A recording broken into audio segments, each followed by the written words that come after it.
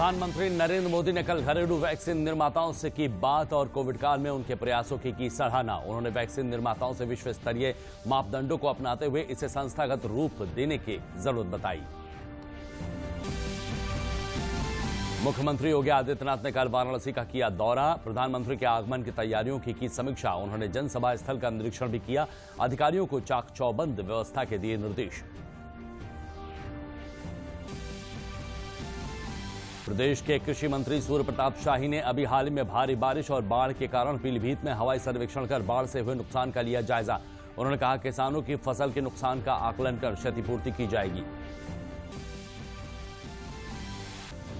और आगामी 13 से 20 नवंबर तक बस्ती में होगा सांसद खेल महाकुंभ का आयोजन भाजपा के राष्ट्रीय सचिव और बस्ती के सांसद हरीश द्विवेदी ने इस खेल के प्रति लोगों में जागरूकता फैलाने के उद्देश्य से साइकिल रैली के की रवाना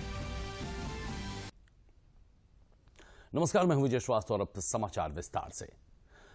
प्रधानमंत्री नरेंद्र मोदी ने शनिवार को घरेलू वैक्सीन निर्माताओं से बातचीत की प्रधानमंत्री ने वैक्सीन निर्माताओं के प्रयासों की तारीफ की और कहा कि पिछले डेढ़ सालों के दौरान वैक्सीन निर्माण में श्रेष्ठ व्यवहार अपनाया गया है उसे संस्थागत रूप देने की जरूरत है उन्होंने कहा है कि ये पूरी तरह से वैश्विक मापदंडों के अनुरूप होना चाहिए साथ ही उन्होंने ये भी कहा कि वैक्सीन निर्माताओं ने भारत की सफलता की कहानी में एक बड़ी भूमिका निभाई है उन्होंने महामारी के दौरान उनकी कड़ी मेहनत और उनके द्वारा किए गए आत्मविश्वास की सराहना की साथ ही उन्होंने ये भी कहा कि टीकाकरण अभियान की सफलता के बाद पूरी दुनिया भारत की तरफ देख रही है और भविष्य की चुनौतियों को सामना करने के लिए तैयार रहने के लिए भी वैक्सीन निर्माताओं को लगातार मिलकर काम करना चाहिए साथ ही प्रधानमंत्री नरेंद्र मोदी से मुलाकात करने वाले वैक्सीन निर्माताओं ने उनके नेतृत्व की सराहना की उन्होंने कहा कि प्रधानमंत्री ने वैक्सीन के निर्माण से जुड़े मुद्दों पर जो सुझाव दिए उनके कारण ही ये बड़ी उपलब्धि को हासिल किया जा सका है today India would not have been able to make a billion doses there is no doubt in my mind about that I when he came in November to the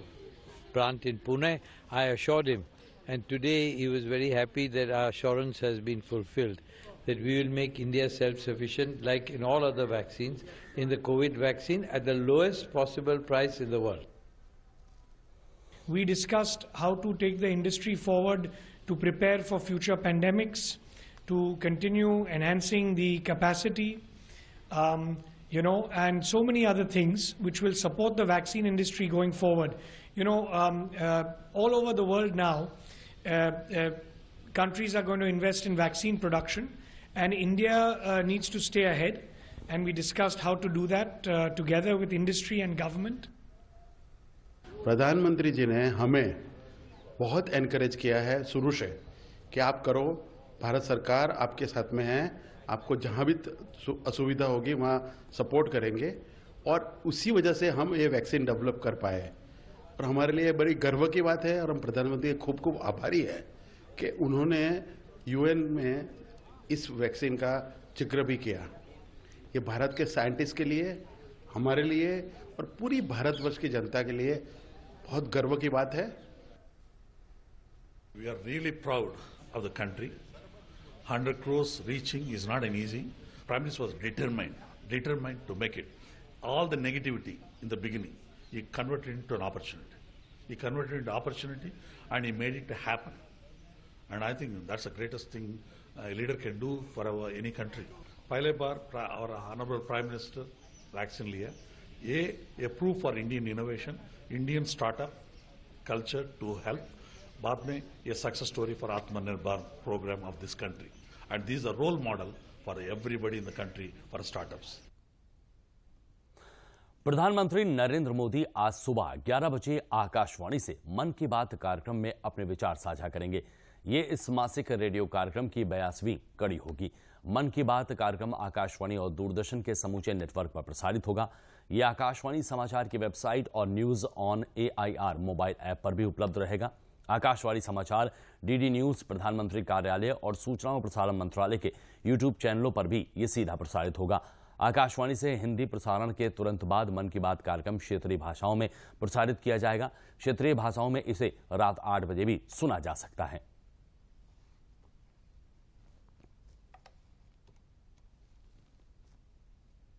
मुख्यमंत्री योगी आदित्यनाथ ने शनिवार को जनपद वाराणसी में प्रधानमंत्री नरेंद्र मोदी के 25 अक्टूबर 2021 को प्रस्तावित कार्यक्रम के दृष्टिगत की जा रही तैयारियों और व्यवस्थाओं की समीक्षा की साथ ही उन्होंने जनप्रतिनिधियों के साथ सर्किट हाउस में बैठकर कार्यक्रम की तैयारी के संबंध में विस्तार से जानकारी दी उन्होंने कहा कि प्रशासन पुलिस व जनप्रतिनिधियों के मध्य बेहतर समन्वय बनाते हुए कार्यक्रम को सुचारू रूप से पूरी भव्यता के साथ संपन्न किया जाए कार्यक्रम से जुड़ी सभी तैयारियां सुनिश्चित की जाएं। एडीजी ने प्रधानमंत्री के कार्यक्रम के दौरान की जा रही सुरक्षा व्यवस्था के संबंध में जानकारी दी इससे पूर्व मुख्यमंत्री ने प्रधानमंत्री नरेंद्र मोदी के प्रस्तावित जनसभा राजा तालाब के मेहंदीगंज का स्थलीय निरीक्षण किया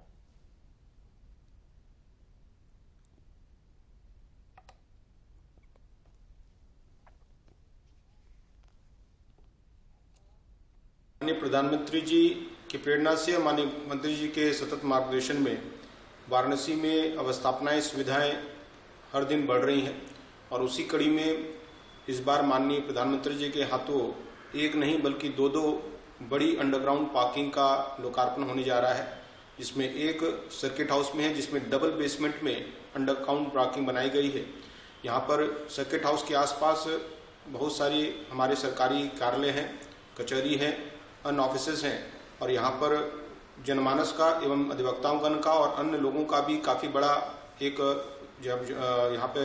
लोगों का इकट्ठा होना रहता है और उसमें काफ़ी गाड़ियाँ और टू व्हीलर्स यहाँ पे रहती हैं तो उनके लिए एक व्यवस्थित स्थान वहाँ पे मिल जाएगा और जो सर्किट हाउस के रोड पर जो जाम लगा रहता है उसमें उसको उससे छुटकारा पाने मिलने में हम लोग को मदद मिलेगी प्रयागराज में यंग लॉयर्स एसोसिएशन हाईकोर्ट द्वारा मोक्षदायिनी मां गंगा की अविरल और निर्मल धारा इसकी संरक्षण विषय पर संगोष्ठी का आयोजन किया गया इसमें मुख्य अतिथि के रूप में केरल के राज्यपाल आरिफ मोहम्मद खान ने प्रतिभाग किया न्यायमूर्ति सुधीर अग्रवाल सदस्य नेशनल ग्रीन ट्रिब्यूनल की अध्यक्षता में कार्यक्रम का आयोजन किया गया इस अवसर पर राज्यपाल आरिफ मोहम्मद खान ने अपने संबोधन में मां गंगा को अविरल और निर्मल बनाए रखने के लिए सभी लोगों से अपील की है और सभी से इस कार्य में सहयोग का आह्वान किया है उन्होंने कहा है कि विभिन्न तरीकों से मां गंगा प्रदूषित हो रही है जिसमें सिर्फ विकास ही एक कारक नहीं है बल्कि हमारे आपके द्वारा भी लगातार माँ गंगा को प्रदूषित किया जा रहा है संगोष्ठी को संबोधित करते हुए न्यायमूर्ति सुधीर अग्रवाल ने कहा कि इस संदर्भ में ईमानदार पहल की सख्त जरूरत है हमारे यहाँ तो ख़ास तौर से होना चाहिए कि जहाँ पर प्रकृति को पर्यावरण को हमारे कामों से नुकसान पहुँच रहा है तो वो आज भले थोड़ा हमें फ़ायदा मिले लेकिन लंबे समय में वो खुद हमारे लिए ही कष्टदायक होगा हमारे मौसम बदल रहे हैं हमारे यहाँ बेमौसम की बारिशें हो रही हैं लैंडस्लाइड हो रहे हैं इसके लिए हमारे एक्सपर्ट बता रहे हैं कि इसका कारण यही है कि हम प्रकृति का का प्रकृति से फ़ायदा उठाने का पूरा हक है लेकिन शोषण करने का हक नहीं शोषण कहाँ होता है जहाँ फ़ायदा इस तरह उठाएं कि जब जिसमें उसकी क्षति हो जाए तो ये हमारे उसको कानून से बड़ा मुश्किल है उसको एजेंसियों के जरिए बड़ा मुश्किल है उसके लिए तो आपको जनमानस में ही चेतना पैदा करनी पड़ेगी इस तरीके की गोष्ठियाँ होंगी तो विचारों का थोड़ा आदान प्रदान होगा बहुत सी बातें जो आप नहीं जानते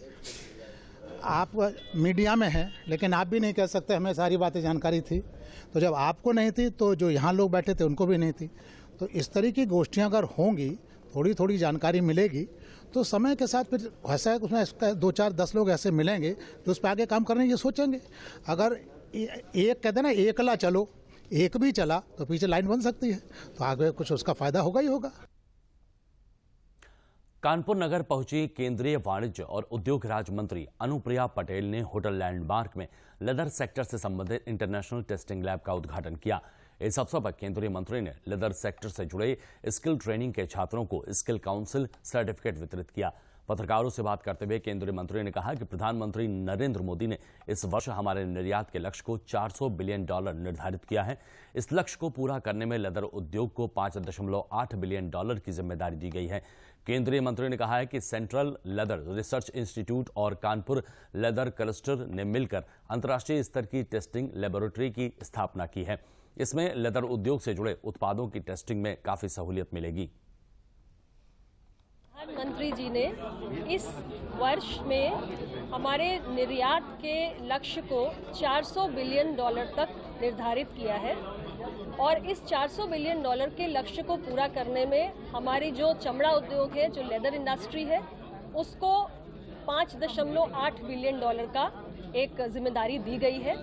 जिसको वो पूरा करने में लगे हुए हैं और इस दृष्टि से आज यहाँ पर हमारे सेंट्रल लेदर रिसर्च इंस्टीट्यूट और हमारे कानपुर लेदर क्लस्टर ने मिलकर एक साथ एक अंतर्राष्ट्रीय स्तर की टेस्टिंग लेबॉर्ट्री की स्थापना की है और इसके ज़रिए जो हमारे उद्योग से जुड़े हुए उत्पाद हैं उन उनकी टेस्टिंग में बहुत सहूलियत होगी क्योंकि यदि हमें अपने निर्यात को संवर्धन देना है बढ़ाना है नए मार्केट्स ढूंढने हैं तो हमारे अंतर्राष्ट्रीय स्टैंडर्ड जो हैं मानक जो हैं उन पर हमें खरा उतरना होगा उस दृष्टि से इस अंतर्राष्ट्रीय टेस्टिंग लेबॉर्ट्री का बहुत बड़ा महत्व है जालौन में जिला विकास समन्वय व निगरानी समिति की बैठक केंद्रीय राज्य मंत्री भानु प्रताप वर्मा की अध्यक्षता में संपन्न की गई बैठक में जिले के विकास को लेकर केंद्रीय राज्य मंत्री ने अधिकारियों से पड़ताल की वहीं उन्होंने संबंधित विभागों के अधिकारियों को समय से विकास कार्य पूरा कराने के निर्देश दिए उन्होंने कहा कि उनके लघु और सूक्ष्म उद्योग विभाग के जरिए युवाओं को उद्योगों से जोड़ा जाएगा जिससे कि वो रोजगार कर सकें साथ ही विकास कार्यों को समय पर पूरा न करने वाले अधिकारियों को फटकार भी लगाई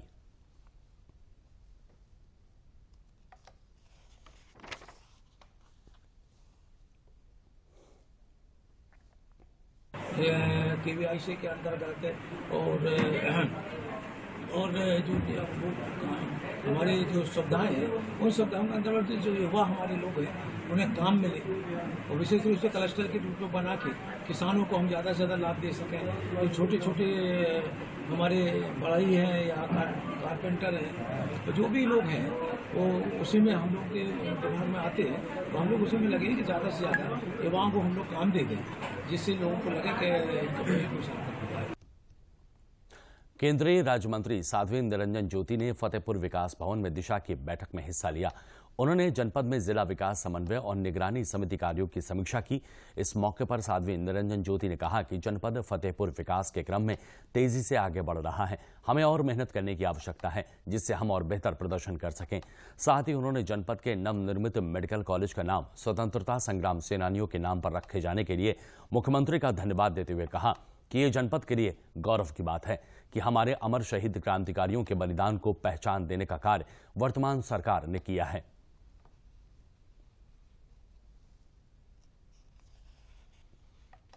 दूसरे नंबर पर देश में आने पर और उत्तर प्रदेश में प्रथम स्थान प्राप्त करने में फतेहपुर के सारे नागरिक अभिनंदन के पात्र हैं दूसरी बधाई मैं माननीय मुख्यमंत्री जी का अभिनंदन करती हूँ कि जिस मेडिकल कॉलेज को हमने परिश्रम करके मेहनत करके लाए थे हमारे जनपद के दो ऐसे योद्धा थे जिन्होंने पूरे के पूरे परिवार को बलिदान कर दिया था फांसी के फंदे पर लटकाया गया था मैं नहीं जानती हूँ कि अभी तक उनकी तरफ किसी का ध्यान क्यों नहीं गया उनको आगे क्यों नहीं बढ़ाया गया मैंने माननीय मुख्यमंत्री जी से कहा कि मेरे जिले का मेडिकल कॉलेज ठाकुर ठाकुर दरियाव सिंह और जोधा सिंह अटैया के नाम से होगा और माननीय मुख्यमंत्री जी ने सहजता में उसकी स्वीकृति भी दे दी पीलीभीत में आई बाढ़ के बाद सरकार किसानों और बाढ़ पीड़ितों के साथ है राजस्व टीमें सर्वे कर रही हैं कि कितना नुकसान हुआ है ये सब देखा जा रहा है इसके साथ ही अठहत्तर गाँव का सर्वेक्षण किया जा रहा है धान व गन्ने की फसल ज्यादा बारिश और हवाओं से क्षति हुई है उसका भी सर्वे हो रहा है सर्वे के बाद धान व गन्ना किसानों को क्षतिपूर्ति दी जाएगी उन्होंने बताया है कि गांव में मेडिकल और पशुपालन विभाग की टीमें काम कर रही हैं बीमार इंसानों और पशुओं का इलाज कराया जा रहा है साथ ही ग्रामीण क्षेत्रों में छिड़काव कराया जा रहा है बाढ़ग्रस्त इलाकों में खाने के पैकेट बांटे जा रहे हैं ग्राउंड लेवल पर इसके सर्वेक्षण के काम शुरू कर दिए गए हैं राजस्व विभाग की टीमें सब प्रभावित गांव के भीतर गई हैं अभी जो जल जमाव वाले एरिया हैं जहां पर भारी बरसात की वजह से शारदा के कारण जो उत्तराखंड से पानी आया और अन्य नदियों को भी जल प्लावित करते हुए अगल बगल के लगभग अठहत्तर गाँव को प्रभावित किया उनका सर्वेक्षण तेजी से पूरा किया जा रहा है सर्वेक्षण का काम शुरू करने के लिए हमने यहाँ निर्देशित कर दिए हैं और ये प्रयास किया जा रहा है कि जो अतिवृष्टि से भी धान की फसल को जो नुकसान हुआ है उसका सर्वेक्षण करके और छतपूर्ति कराया जाए हवाओं की वजह से और बाढ़ के जलप्लावन की वजह से गन्ने की फसल भी क्षति हुई है उसका भी सर्वेक्षण का काम कराया जा रहा है सभी गांव के भीतर मेडिकल और पशुपालन की टीम लगा दी गई है लोगों के इलाज की व्यवस्था और पशुओं के इलाज की निःशुल्क व्यवस्था कराई गई है साथ साथ में छिड़काव और लोगों को पीने का अच्छा पानी और कुक्ड लंच पैकेट बना करके उनके भीतर वितरित बड़े पैमाने पर किए गए हैं अब वहाँ पर राशन किट और जरूरी आवश्यक सामग्री के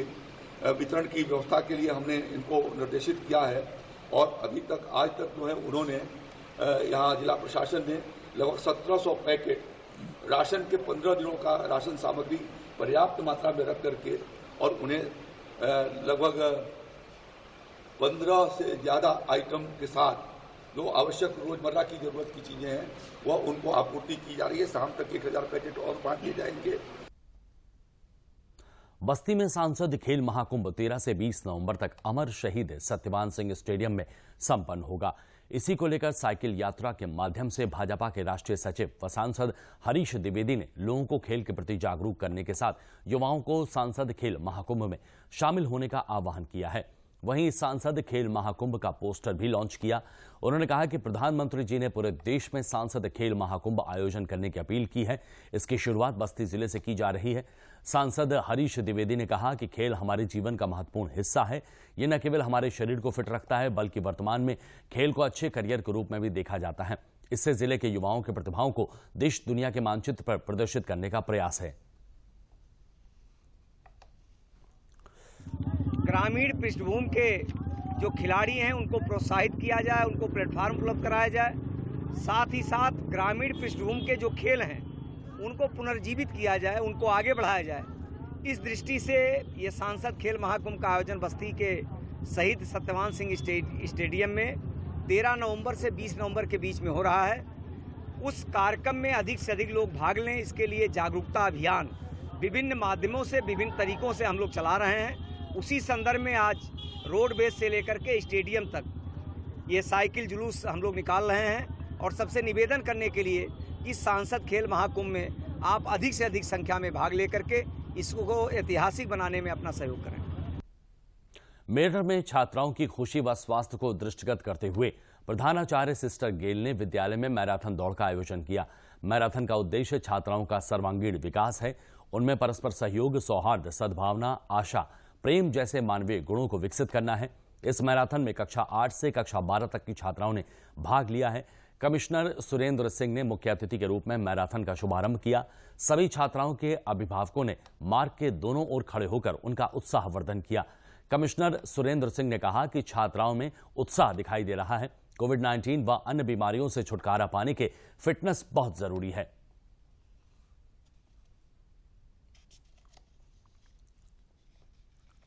सिक्स थर्टी पे ये कॉल हुई है उसके बावजूद भी बच्चे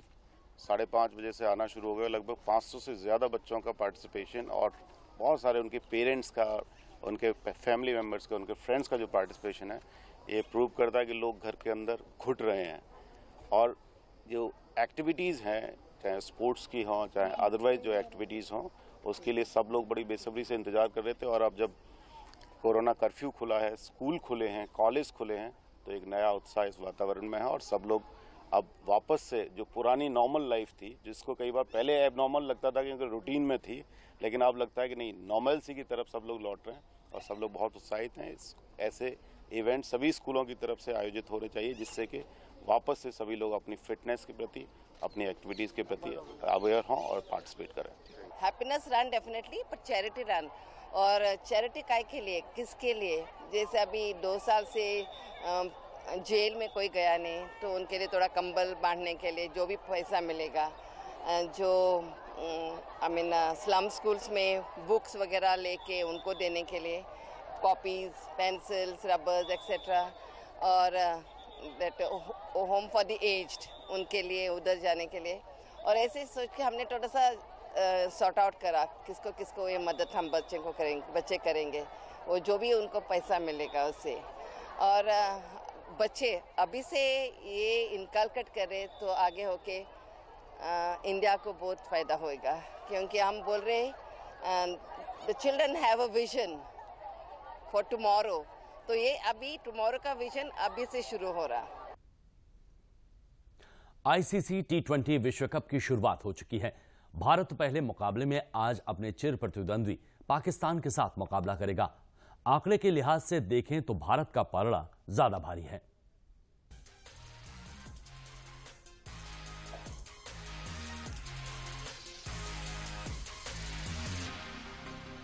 कोरोना वायरस के कारण एक साल की देरी से शुरू हो रहे आईसीसी टी ट्वेंटी विश्व कप का इंतजार अब खत्म हो चुका है बारह देशों के बीच टी ट्वेंटी की बादशाहत की जंग यूएई में जारी है 2007 की विश्व विजेता भारतीय टीम अपने सफर का आगाज रविवार को चिर प्रतिद्वंदी पाकिस्तान के साथ मैच खेलकर करेगी दोनों टीमों के बीच ये मुकाबला दुबई इंटरनेशनल क्रिकेट स्टेडियम में खेला जाएगा दोनों टीम के आंकड़ों की बात करें तो भारत का पलड़ा भारी नजर आ रहा है टी ट्वेंटी विश्व कप में पाकिस्तान कभी भी भारत को हरा नहीं पाया है टी ट्वेंटी विश्व कप में अब तक पांच बार ये दोनों टीमें आपस में टकरा चुकी हैं हर बार पाकिस्तान को हार का स्वाद चखना पड़ा है जबकि बात अगर ओवरऑल मैच की करे तो यहाँ भी भारत पड़ोसी मुल्क ऐसी आगे है खेले गए कुल मैच में पाकिस्तान ने मात्र एक मैच में जीत हासिल करी है जबकि सात बार भारत ने फतेह हासिल की है वहीं बतौर कप्तान अपना आखिरी विश्व कप खेल रहे कोहली के लिए न केवल ये मैच बल्कि पूरा विश्व कप काफी अहम है उनकी कोशिश भारत को वर्ल्ड कप दिलाने की होगी मैच से पहले भारतीय कप्तान विराट कोहली ने शनिवार को एक प्रेस वार्ता को संबोधित किया पत्रकारों से बात करते हुए विराट ने कहा कि हार्दिक पांड्या फिट हैं और वो एक या दो ओवर गेंदबाजी भी करेंगे Hardik presently with his physical condition is is getting better in terms of being prepared to bowl at least two overs for us that is way more valuable than forcing him to do something that is not ready for at the moment but he is motivated and he is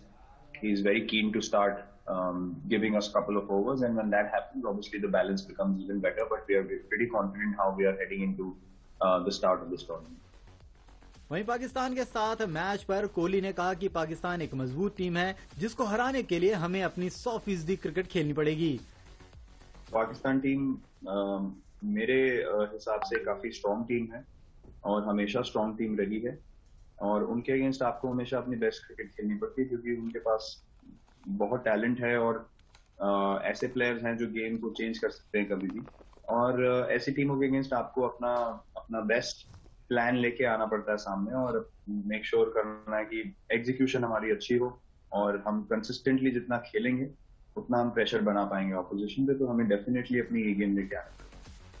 दुनिया में छाए Covid संकट के बाद पहली बार T twenty cricket की बादशाहत की ये प्रतियोगिता हो रही है जाहिर है कोरोना की वजह से क्रिकेट में कई तरह के बदलाव हुए हैं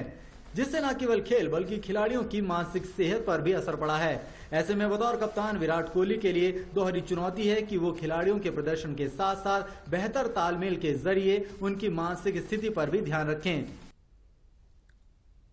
केंद्र और प्रदेश सरकार द्वारा स्थानीय उत्पाद को बढ़ावा देने के प्रयास को गति मिलती हुई दिखाई दे रही है लोग चीन से बने हुए सामान की जगह स्थानीय स्तर पर उत्पादित सामानों को त्योहारों में उपयोग में ला रहे हैं हापुड़ में कुम्हारों को इसका लाभ मिलता हुआ दिखाई दे रहा है मिट्टी के दिए और अन्य सामान इनके बाजार में खरीदे जा रहे हैं इनको उसका उचित मूल्य भी मिल रहा है इससे स्थानीय कला के साथ साथ स्थानीय स्तर पर बनाए जा रहे सामानों की खरीद से इन्हें अच्छी आय हो रही है कुम्हारों को बिजली के चाक उपलब्ध करवाए गए हैं जिससे ये अधिक सामान बना पा रहे हैं दिवाली दोहरा रही है दीपक की डिमांड बढ़ रही है हमारा माल गाजियाबाद दिल्ली नवेड़ा ऐसी ऐसी जगह जा रहा है और व्यापारी और आ रहे हैं और माल बने हम दिन में तीन चार हजार दीवला रोज काट देते हैं रात को दिन में सगले हम दीवले बना रहे हैं काफ़ी संख्या में डिमांड आ रही है और गाजियाबाद मेरठ सब जगह से डिमांड आ रही है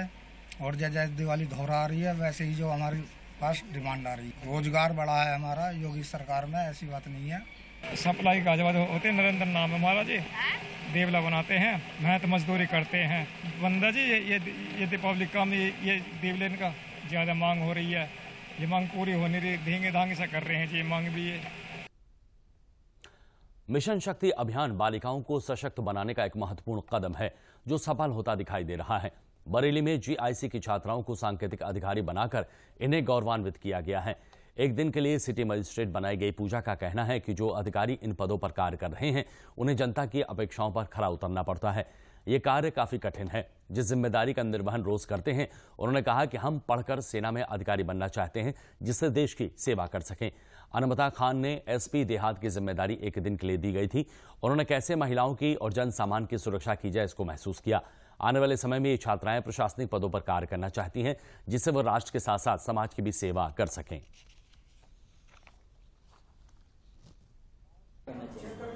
प्रोविजन अधिकारी बरेली के द्वारा मिशन शक्ति जो भारत सरकार उत्तर प्रदेश सरकार की एक उत्थान नारी उत्थान की एक योजना है उसके तहत महिला सशक्तिकरण के रूप में इस तरह का महिलाओं को उत्साहवर्धन किया जा रहा है और उनको इससे प्रेरित किया जा रहा है कि वो आगे बड़े पदों पर बैठें विराजें और उनकी सोच भी प्रसिद्ध रूप से राष्ट्र के विकास के लिए लागू हो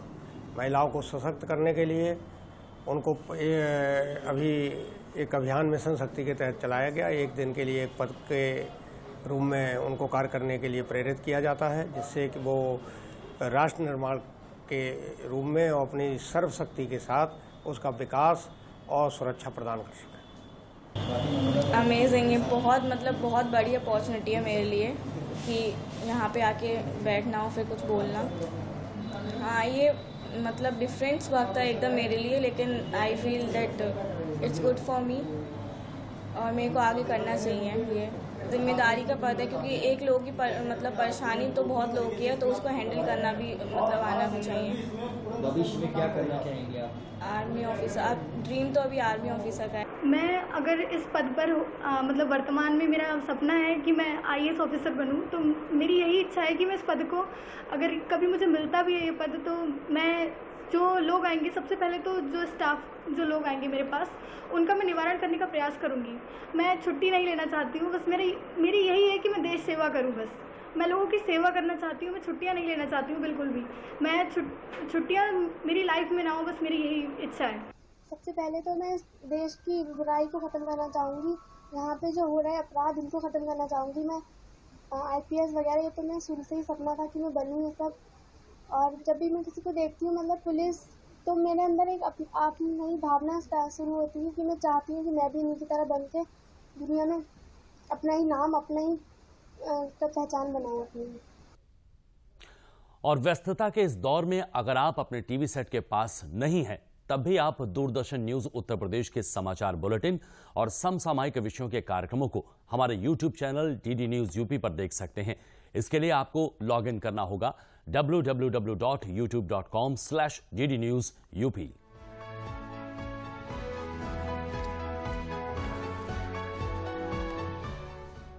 अब आप दूरदर्शन न्यूज उत्तर प्रदेश के समाचार बुलेटिन और समसामयिक विषयों के कार्यक्रमों को हमारे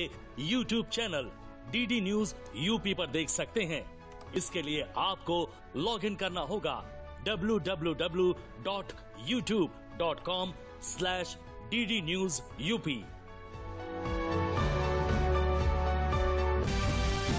मुख्यमंत्री योगी आदित्यनाथ ने कल वाराणसी का किया दौरा प्रधानमंत्री के आगमन की तैयारियों की की समीक्षा उन्होंने जनसभा स्थल का निरीक्षण भी किया अधिकारियों को चाक चौबंद व्यवस्था के दिए निर्देश